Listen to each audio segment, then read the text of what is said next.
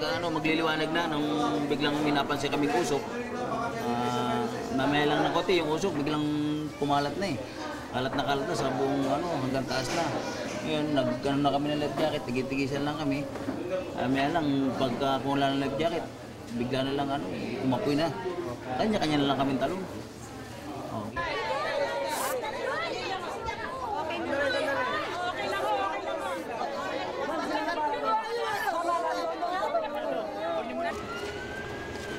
Tandaan natin, Dre. Tandaan na. Tandaan ng lakad, Dre. Pagkita ka, mag-antay ka sa pagkain.